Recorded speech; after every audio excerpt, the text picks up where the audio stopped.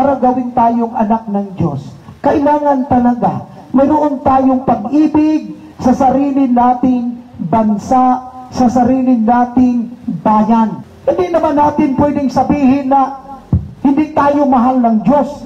Mahal tayo ng Diyos. Lahat ng tao dito sa libutan, mahal ng Diyos.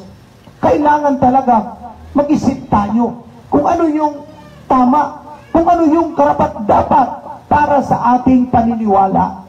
Yung Bible, from Genesis to Revelation, basahin mo doon sa Genesis. Ang Diyos talaga, tinatawag lang sa iba na Jehovah, Yahweh, yan ang tawag nila. Pagpunta dito tayo sa pahayag, sa Revelation, ang Diyos natin tawagin ay Alpha Omega.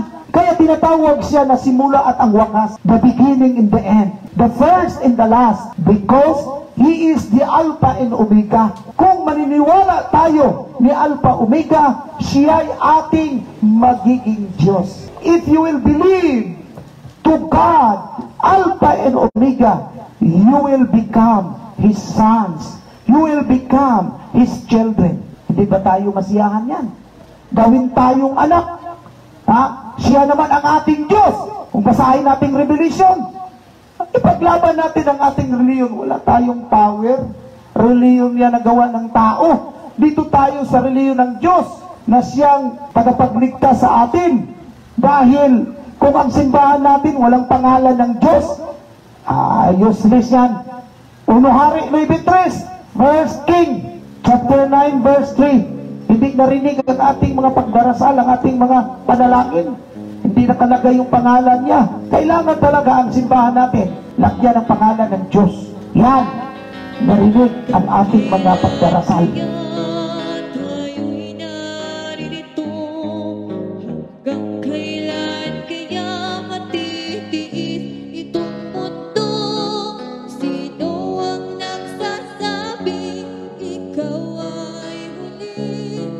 Kaya tayo'y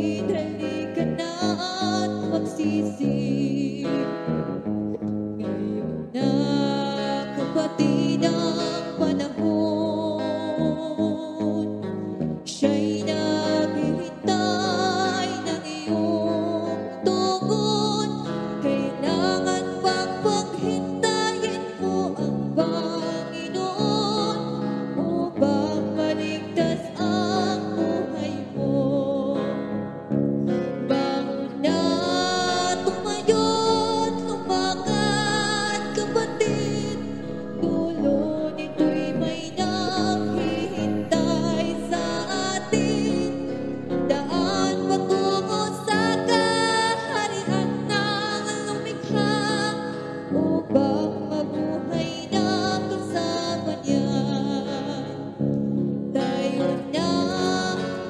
putih